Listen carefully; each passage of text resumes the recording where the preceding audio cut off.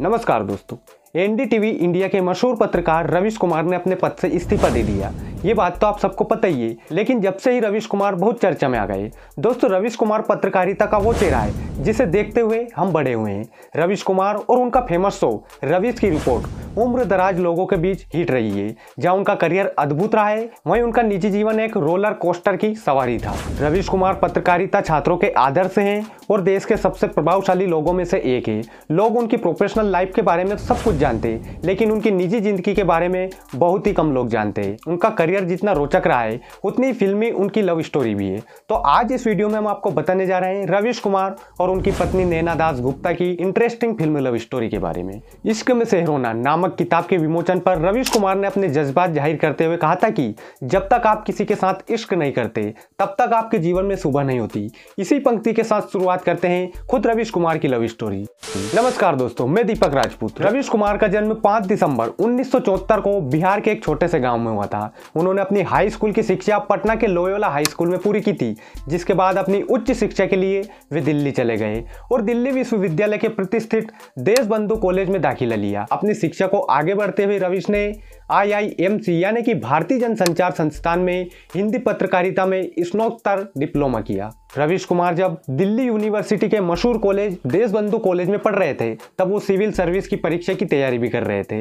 अपने कॉलेज के दिनों में वहाँ मेधावी छात्र थे, लेकिन वह ज़्यादा बातूनी नहीं थे, यानी कि लोगों से ज़्यादा बोलते नहीं थे और थोड़े शर्मिले थे। हालाँकि जब बिहार का यह शर्मिला बच्चा नैना दास गुप्ता से पहली बार कॉलेज के कार्यक्रम में मिला तो वह उनके प्यार में पढ़ने से खुद को रोक नहीं पाया। कोलकाता में जन्मी नैना दास गुप्ता दिल्ली के इंद्रप्रस्थ कॉलेज में बीए कर रही थी और उसके बाद उन्होंने जवाहरलाल विश्वविद्यालय से एमए भी किया था। फिर दोनों एक दूसरे से मिलने लगे और दोनों में दोस्ती हो गई। अपनी ग्रेजुएशन की पढ़ाई के दौरान नैना और रविश की लगातार मुलाकातों ने उनके बीच एक बंधन बना दिया, जो जल्द ही प्यार में बदल गया था। दोनों में बहुत अच्छी बॉन्डिंग थी।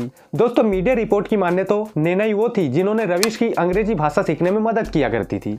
जिस तरह से हाफ़ गर्लफ्रेंड मूवी में अर्जुन कपूर को श्रद्धा कपूर अंग्रेज़ी सिखाया करती थी, लेकिन उनकी शादी नहीं हुई और यह रविश कुमार और नैना की शादी हो गई। जल्दी रविश कुमार और नैना लगातार मुलाकातों और बौद्धिक चर्चाओं ने एक दूसरे के साथ उनके संबंध को गहरा कर दिया और दोनों के बीच का प्यार परवान चढ़ने लगा। अपने कॉलेज के दिनों में एक दूसरे के साथ क्वालिटी टाइम बिताने से लेकर अपने करियर से एक दूसरे की मदद करने तक रविश कुमार और नैना दास गुप्ता एक दूसरे को लेकर काफ़ी गंभीर थे। यह जानने के बावजूद कि नैना एक बंगाली और रविश एक ब्राह्मण है। इन दोनों ने अपने प्रेम की कहानी जारी रखी और इस उम्मीद के साथ एक दूसरे को डेट करना जारी रखा कि समय आने पर वे अपने अपने परिवार को, अपने इंटरकास्ट मैरिज के लिए मना लेंगे। उन्होंने एक दूसरों को सात साल तक डेट किया था। सात साल तक एक दूसरे के साथ रहने के बाद रविश कुमार और नैना दास गुप्ता ने अपने माता पिता को एक दूसरे से शादी करने के, अपने फैसले के बारे में बताने का निर्णय लिया। यह कपल विरोध का सामना करने के लिए तैयार था, लेकिन उन्हें विश्वास था कि वे दोनों अपने परिवार को मना लेंगे। हालाँकि जब समय आया तो दोनों के परिवार ने प्रस्ताव को काफ़ी सख्ती के साथ सीधे खारिज कर दिया। रविश और नैना के लिए यह काफ़ी कठिन समय था, क्योंकि वे किसी अन्य व्यक्ति से शादी करने की कल्पना भी नहीं कर सकते थे। उनकी लाख कोशिशों के बावजूद रविश का परिवार नैना दास गुप्ता से शादी करने की उनकी इस इच्छा से सहमत नहीं था। जिसके बाद रविश ने अपने प्यार के लिए अपने परिवार को छोड़ने का फैसला किया। रविश कुमार ने अपनी गर्लफ्रेंड नैना दास गुप्ता से शादी करने का फैसला करने के बाद अपने परिवार से नाता तोड़ दिया। दरअसल रविश कुमार का परिवार एक बंगाली लड़की को अपने घर की बहू मानने के लिए तैयार नहीं था। ऐसे में रविश कुमार ने परिवार से रिश्ता खत्म कर दिया।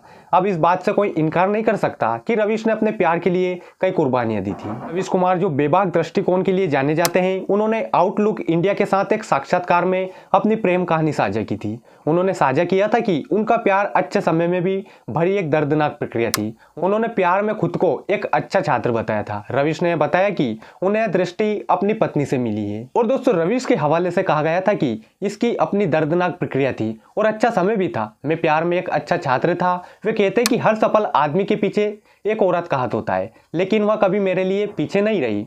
और भी बहुत कुछ हुआ है। कई बार मुझे लगता है कि मैं उनके विचार बोल रहा हूँ। मैं उनसे अपनी दृष्टि प्राप्त करता हूँ। वह एक कठोर आलोचक है। उन्होंने मुझे सिखाया कि कैसे पढ़ना है, कैसे देखना है। उन्होंने मुझे समाज शहर इसकी संरचना सबसे जुड़ा हुआ बनाने में मदद की। अपनी पढ़ाई पूरी करने के बाद रविश कुमार ने साल उन्नीस सौ छियानवे में समाचार चैनल एनडीटीवी में अपना प्रवेश लिया था। अपने पत्रकारिता करियर में अब तक रविश कुमार को पत्रकारिता के क्षेत्र में उनके अनफिल्टर्ड और बहादुर काम के लिए कई पुरस्कार मिले हैं। हालाँकि कुछ सबसे महत्वपूर्ण पुरस्कार जिनके साथ उन्हें सम्मानित किया गया है, वो है रेमन मैक्सेसे पुरस्कार, कुलदीप नैयर पत्रकारिता पुरस्कार गणेश शंकर विद्यार्थी पुरस्कार और पत्रकारिता में रामनाथ गोयन का उत्कृष्ट पुरस्कार है।